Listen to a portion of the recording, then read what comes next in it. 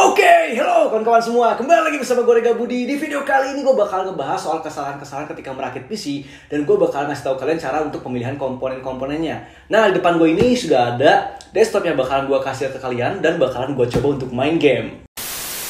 Oh iya, sebelum mulai videonya, gue mau kasih tahu kalian semua nih. Nanti di video ini bakalan ada giveaway yang sangat menarik. Jadi jangan di skip-skip videonya, tonton sampai habis.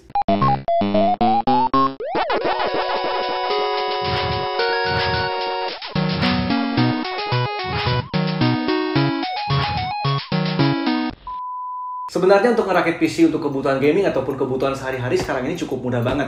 Kalian juga bisa menemukan komponen-komponennya dengan mudah di toko online ataupun di toko offline terdekat di kota kalian. Untuk merakit PC-nya juga sekarang sangat gampang banget karena tutorialnya udah ada di mana-mana di situs lokal ataupun situs luar negeri ataupun udah banyak dalam berupa video-video tutorial yang biasa kalian temukan mungkin contohnya ya di YouTube lah ya. Tapi ada beberapa kesalahan-kesalahan dasar yang biasa pemula lakukan. Yang pertama, biasanya tuh pemula tuh beli komponen-komponennya tuh nggak sinkron, jadi nggak cocok. Nah, jadi kalau untuk rakit itu udah kayak nyari cewek ya, nyari pasangan teman-teman, karena harus cocok, harus sinkron. Contohnya teman-teman nih ya, misalnya sistemnya itu DDR4.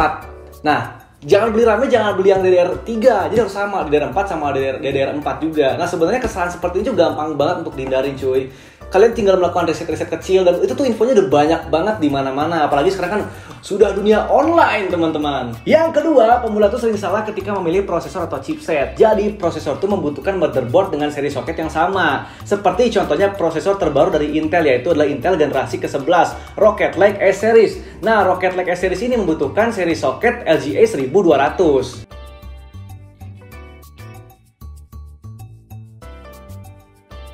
Intel generasi 11 ini datang dengan performa menakjubkan 19% peningkatan performa dari generasi sebelumnya dan peningkatan integrated graphics sampai 50% cuy. Fitur overclocking yang ditingkatkan dengan Intel Performance Maximizer, Intel Extreme Tuning Utility, dan Solder Thermal Interface Material. Dan peningkatan overclocking yang bisa disesuaikan dengan kebutuhan kalian. Nah, untuk webnya udah gua taruh di deskripsi video, jadi kalian bisa langsung cek aja ya. Dengan Intel generasi 11, lu kalau main game tuh akan semakin luasa dan tanpa gangguan lag sama sekali. Masih kurang? Masih kurang? Hah? Nih gue tambah-tambahin lagi nih fitur-fitur lainnya dari Intel generasi 11 teman-teman. Frekuensi up to 5,3 GHz dengan Intel Thermal Velocity Boost, kinerja grafis 50% lebih baik dan terintegrasi untuk hingga 3 layar HDR 4K secara bersamaan pada 60 Hz. Dengan SSD support membantu bermain sambil kerja, multitasking yang cepat. Fitur overclocking yang ditingkatkan Intel Performance Maximizer, Intel Extreme Tuning Utility dan peningkatan overclocking yang bisa disesuaikan. Selain prosesor, VGA juga menjadi komponen yang penting. Nah, di sini gue pakai ROG Strix 3070 Ti O8G Gaming yang memiliki keunggulan axial patch kipasnya ya dan juga lebih banyak bilah kipasnya. Dan rotasinya terbalik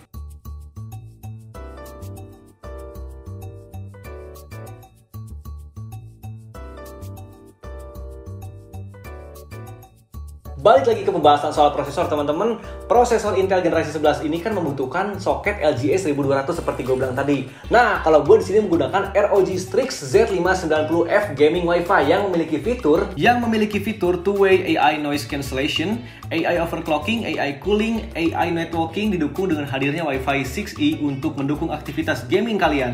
Bagi kalian yang penasaran, kalian bisa lihat langsung spek lengkapnya dalam tabel ini.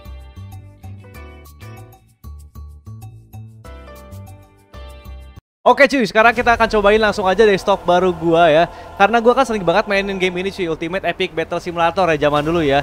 Nah, sekarang gua bakal cobain game ini dengan menggunakan Intel generasi 11, Intel generasi terbaru, teman-teman. Langsung aja kita cobain cuy. By the way, di sini gua kasih lihat dulu. Gua udah settingan paling maksimal ya, udah high semua dan resolusi udah 1920. Oke, langsung aja kita cobain sandbox modenya. 20 minutes later. Man, man, man, man, gila banget. Lihatin cuy gambarnya sekarang gurih banget ya. Sumpah, FPS-nya mentok cuy, lihatin cuy. FPS-nya mentok cuy. Waduh, gemes banget gua. Oke, lihat tuh, lihat tuh. Pasukannya sebanyak ini gak nge-lag, Bro. Bentar, bentar. Lihat teman-teman di sini gua udah siapin pasukan juga. Banyak banget dan ini tetap lancar banget cuy. Oke, kita bakal coba pakai cinematic mode ya. Kita nyalain bro cinematic modenya. Wah, parah sih gurih banget. Siap ya kita play ya, teman-teman. Dulu gue main game itu nge-lag banget cuy. Sekarang jadi mantep gini bro. Mungkin karena ada dari Intel generasi 11 ini kan ada 19% peningkatan performa dari generasi sebelumnya ya. Itu loh bro. dan peningkatan integrated graphics sampai 50%. Lihat nih ya kalau gue slow motion cuy. Uh. Men, ini gila sih cuy. Asik banget liatnya men. Oke, kita play lagi cuy. Gurih banget men. Wow, serangannya boy. Let's go. Let's go, let's go, let's go. Wah, ini parah sih, keren banget. Gurih banget. Gue pakai pakai cinematic mode aja ya. Kita pakai cinematic mode aja. Ya, teman-teman. Ya, teman-teman. Uh. Asik banget, halus banget cuy Mana FPS-nya mentok lagi, FPS-nya mentok bro Jauh banget dengan Ketika gua dulu main game ini. Mayatnya tuh kayak bikin pusing gitu cuy, mayat-mayat mayat-mayatnya ya. Zooming out, coba zooming out, zooming out. Uh, merah semua Tin. Wah, merah semua, bayi-bayi masih nyerang. Ini ngelek banget. Sumpah ngelek banget cuy. Malas gua liatnya. Ngelek, ngelek, ngelek, ngelek, ngelek Nih, uh, panahannya lihat nih teman-teman. Wah, orang-orang mental-mentalnya. Asik banget sih, sumpah sih, asik banget sih. Uh, gila. Gurih, gurih. Oke, oke, oke, oke. Oke, oke.